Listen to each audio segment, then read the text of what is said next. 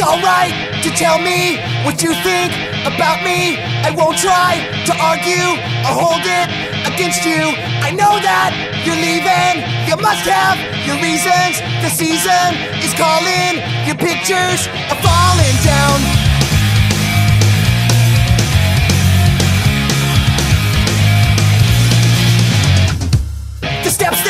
I retrace, the sad look on your face, the timing and structure. Did you hear? He a day late, a buck short. I'm writing the report. I'm losing and failing. When I move, I'm flailing now, and it's happened once again. I'll turn to a friend, someone that understands, sees through the